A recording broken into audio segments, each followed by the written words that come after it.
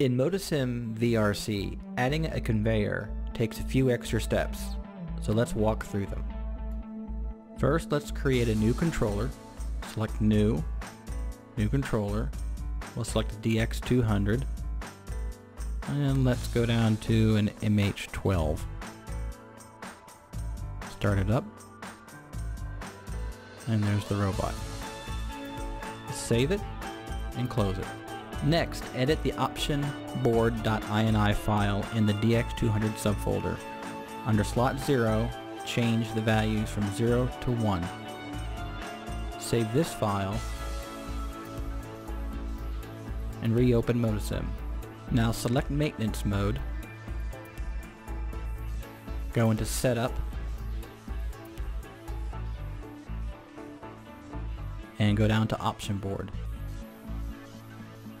Select used, enter, and acknowledge yes, yes, and yes. Select end, and the controller will reload. In the controller, select robot, then select CV condition. Make sure your servos are off. Scroll down to pulse resolution and type in a value of 2.5.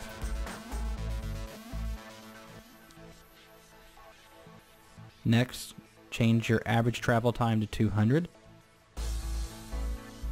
Then go up and change not used to used.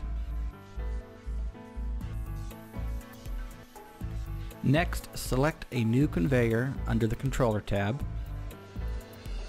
Select conveyor. Set your number. Here you can change any value you would like, length, depth, height, the origin point, the speed of the conveyor, start position. Check make model.